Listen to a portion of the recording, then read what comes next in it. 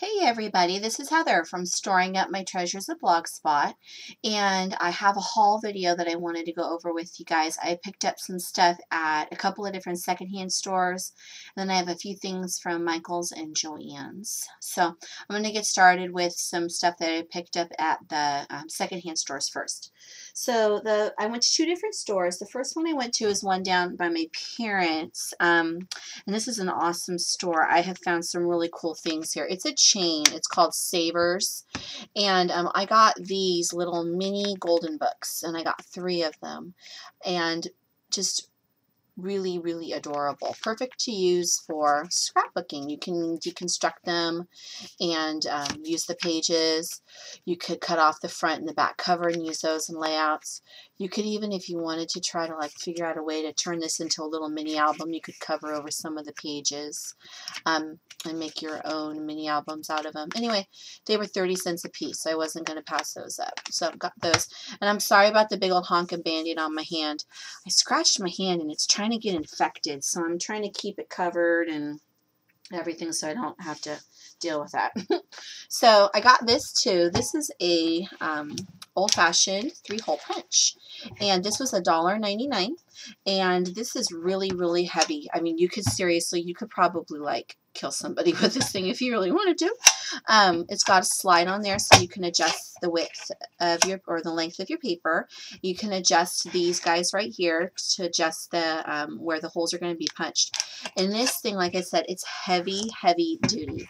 And so if you make, especially if you make your own albums, your own mini albums, chipboard albums, like this is thick chipboard. This is probably like a quarter of an inch thick and just watch this guy. Oops, let me turn around and use it the right way here. Just watch how easy this is to just boom. One, two, three. So this would be perfect to use to um, punch holes in chipboard if you make your own albums, your own mini albums you can, for jump rings. And so for $1.99, and then it's like a two-in-one. You can obviously use it as a regular hole punch and then use it to punch out um, chipboard and cardboard too. So instead of having two different tools, because a regular hole punch is not going to cut through cardboard, you can have two for the price of one, and a really cheap one at that. So I got those. Um, I also picked up some other stuff. I got this Dymo Hobbyist gun for a dollar. How much was this? A dollar ninety-nine. And I've been eyeballing the pink one that they have at Michael's and Joann's. It's like twenty dollars for a while now, and I've not picked it up, and I'm glad I didn't because I got that one a whole lot cheaper. I picked up this Norman Rockwell postcard book. This was $2.99 and I almost didn't buy it, but when I, I love Norman Rockwell to begin with, and when I was flipping through the book itself, some of the pictures in here just really caught my eye, and I thought that they would be so cool to use in layouts. And there's so many different types of um, pictures here, lots of different options of um, ways to use them. I just wasn't going to pass this up. And there's a few of them missing, but this also is another really cool way to incorporate actual honest to goodness art in your layouts, if that's something that's interesting to you. I picked these up. These are, they're called, um, what are these called? Clear Facts, and they're make your own index tabs. And I'm going to open, let me see here. I think I already opened up one of these. Oh yeah, to show you what they look like. And they are. They're index tabs, and they're really long, so you could leave these as is or cut them to whatever size you desire. And each package comes with two of these index tabs, this piece of paper here with all these different letters, several different blank strips for you to write your own thing in. And I just thought that these would have a lot of potential in using for scrapbooking in your layouts, for like making your own tags for um, pages and just all sorts of different things. And these were, uh, I believe, 50 cents. And there's uh, five different boxes in here. There's green and yellow and orange and pink, all sorts of cool colors in here. So I thought that those would be really fun to use and figure out how to use those. I got another one of these lotto games. The last vintage haul video I did a couple videos back, I had showed you a similar one I had picked up. This one, though, is all animals. It's a zoo one. So how perfect to use for a zoo trip with the kids or I don't know if your husband's a hunter or a fisher or if your kids hunt or fish or they like animals. All sorts of different options. The cards have numbers on them and names, and you could figure out all sorts of way to incorporate those into a layout if you wanted to. And this whole game was $1.49, and so to use that and piece up those into different layouts would be really cool. I also found these Bingo Dauber bottles. There's three of these in this bag. They are 99 cents. I had mentioned in my last haul video that I was going to do a Bingo Dauber bottle tutorial, and I promise I am going to do that. I just haven't done it yet.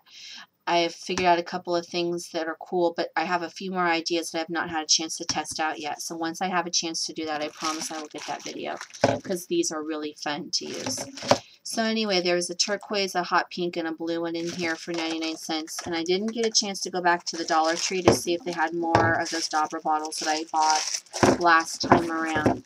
And I'm really glad I didn't because these were obviously much cheaper. That's everything from the secondhand store. Uh, moving on to Michael's. I went to a Michael's I don't normally go to. I was on my way somewhere and I saw Michael's and I just wanted to run in real quick and see what they had. This one had an awesome clearance section and I got a ton, they had a ton of paper. They probably seriously had a 10 inch stack of clearance paper. So after digging through them, this is what I came up with. And this is K & Company, this particular paper right here. This is their um, Addison Stitch Strips flat paper. Picked up a couple of those. This is Recollections. It's called Mom's Diner, and the pattern is Mmm Waffles. This is TPC Studios. This is called Sweet Celebration Cupcakes Galore. And on the front, it almost reminds me of like a cupcake quilt. Very adorable. And on the back is a whole bunch of itty bitty teeny tiny cupcakes.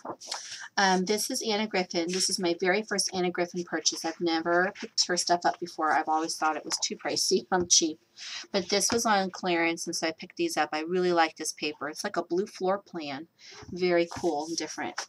This is from My Mind's Eye. This is the Bohemia line, Love of My Life. And on this side is like a distressed hot pink.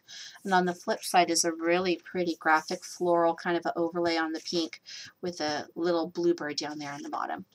The price tags on these at the on the clearance shelf ranged in price from 5 cents to I believe 45 cents for the Anna Griffin paper, but when they rung up, they rung up between a penny and 16 cents a piece. And had I known that, I would have bought a lot more paper. But by that point, I'd been in the store for a while. The natives were getting restless, and I was not going to go back through line again to pick up more. So somebody else gets to be surprised when they get rung up how cheap that stuff is. I already threw away the tag on this. I'm sorry. This is Making Memories. These are called their With Love um, embellishments. They had a huge end cap of these. Um, they were all clearanced out for 99 cents. And they really remind me basically of like bridal type stuff here. These are like basically really pretty envelope seals. They have like an etched heart with a rim and it's um, very pretty. Anyway, they were mostly all silver colored accents, and for 99 cents for 50 of these guys, wasn't going to pass that up. And I don't think they're adhesive back, but who cares? You can use your own glue. I also picked up some of this terrifically tacky tape. I've never used that stuff before, but I've always wanted to try it, so got some of that. Um, I bought this Recollections Label Me Tough stamp, boy stamp. This was on clearance. I want to say it was $1.79, I believe. And I bought it for this stamp right here. Um, I really liked this about this boy. Kind of, you could fill it in if you really wanted to write super tiny. That slingshot's very, very adorable, and I like that 100% boy. I believe Craft and Kate um, was her YouTube name. She used the stamp set on a little mini album she did, and I really, really liked it. So I was excited when I saw that at Michael's on clearance. So everything from Michael's. And then at Joann's, I picked up, they had a bunch of paint on clearance, folk art, which is the good stuff, for 50 cents a bottle. So I picked up, this is tapioca, um, medium blue, sugar plum, and this is just simply green. So I picked up those. I also got a couple more dollar spot stamps. This one is from Inkadinkado. I really like this stamp, how the body of the camera is made up with different sentiments. And that smile stamp down there is nice. And this is Studio 112, and I really like this old um, script block letter look here. And they basically kind of remind me of signs, like old-fashioned vintage signs, kind of. I really liked these, so I picked up those.